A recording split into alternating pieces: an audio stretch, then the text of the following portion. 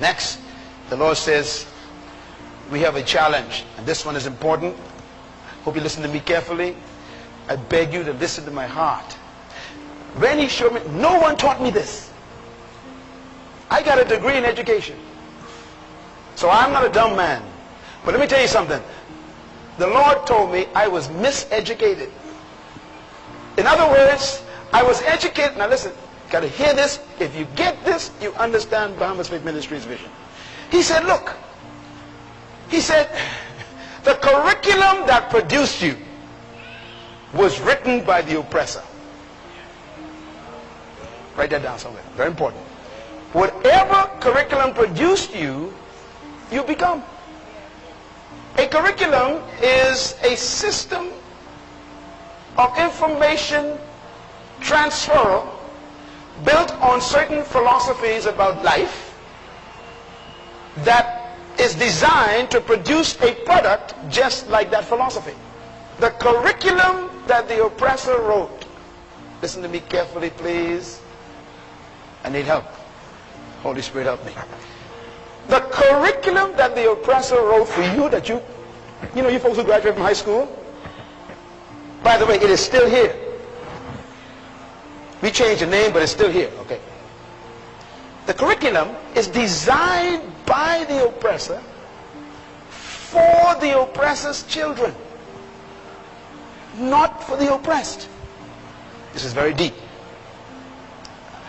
So, so, so the curriculum is designed for his children, the oppressor's children, to use to produce the children like the oppressor is. But what the oppressor did was also allow the oppressed children to use the same curriculum. But there's a problem here. You gotta hear me. The problem is the raw material for the curriculum is the mentality of the children that the curriculum impacts. Pray for revelation. Pray, pray for understanding now because you ain't getting it yet. So, if the raw material is not right, then the impact of the curriculum on the mentality of the student is compounded double negative. Let me, let me explain. Let me try this. Can understand this because this is a Holy Spirit revelation. You see, the, the, the oppressor's child is born in the home of the oppressor. The oppressor's child. So the oppressor's child is born in an environment where he is trained to think like the oppressor.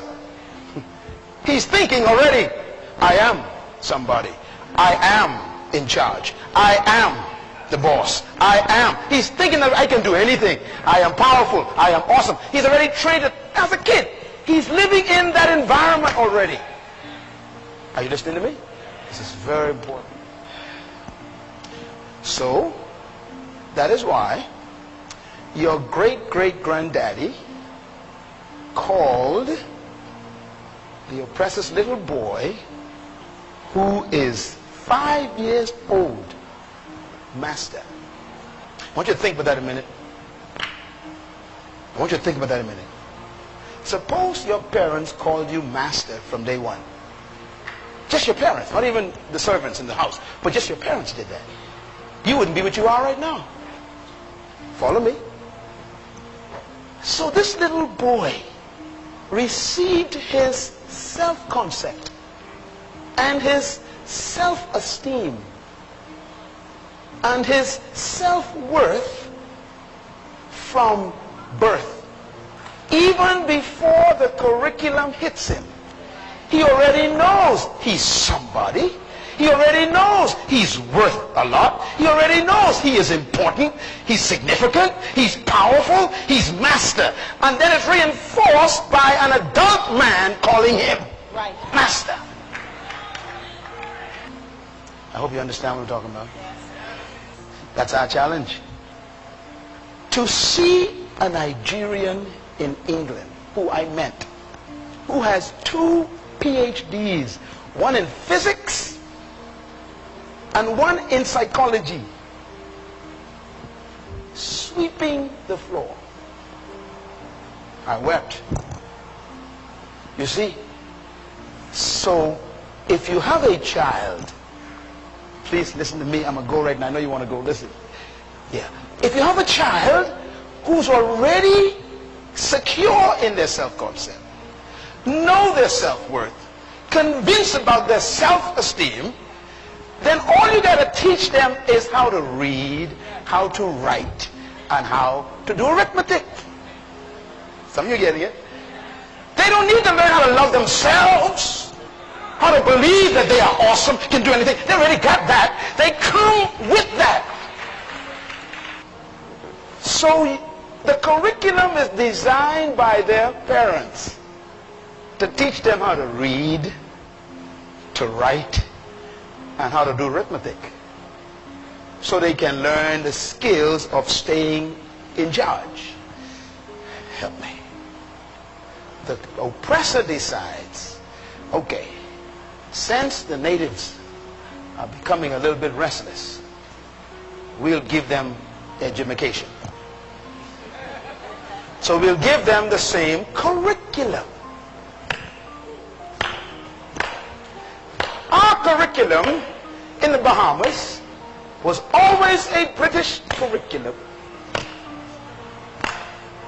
designed by the oppressor but placed on little children who hate themselves, have no self-concept, no self-worth, no self-esteem, but they teach them how to read, how to write, and how to do arithmetic. Why? So they could serve the oppressor more effectively. Some of you ain't getting this. Watch this. And they even allow you to advance in arithmetic. You can go from high school to O levels to A levels. Now they call them what? BCGs, whatever. There's the same curriculum. They, they'll, they'll even let you go to Stanford College or Oxford College and get a PhD in it but your head still damaged. You got a PhD with self-hatred, a PhD with low self-esteem, a PhD with no self-worth, a PhD with no self-concept. That's our challenge. Then they told our parents, if your son or daughter gets a job, we'll give them a job. If you get an education, we'll give them a job. If they learn these three R's, we'll give them a job. So your parents' number one admonition was get an education. It was, it was never love yourself. You are valuable. You are master too.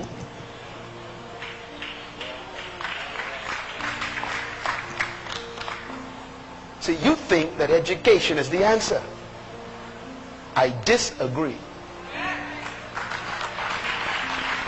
Nothing is worse than a well-educated self-hater. That's why BFM was raised up. We are raised up to shift education from the three R's to the three S's. Self-concept, self-worth, and self-esteem.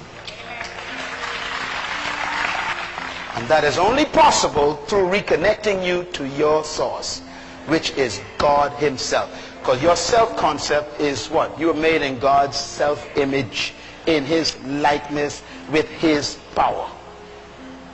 I was delivered from the curriculum by the word of God. I'm going to say it again. I was delivered from the curriculum that trained me only by the word of God. That Bible you get in your hand. I am smarter than A levels. No IQ could measure my ability no IQ test. I know, listen. No exam can measure your potential. None. Young people go to school, do good grades, but mesmerize them. Do better than they expected. But don't allow their grace to judge your ability. Because you are as good as God tells you you are.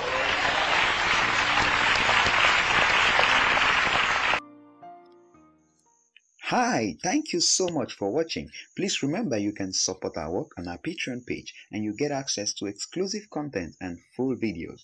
And please hit that subscribe button if you haven't done so and click the notification bell to be the first to receive newer content. Please don't forget to like and share this video with your friends to be a blessing to them.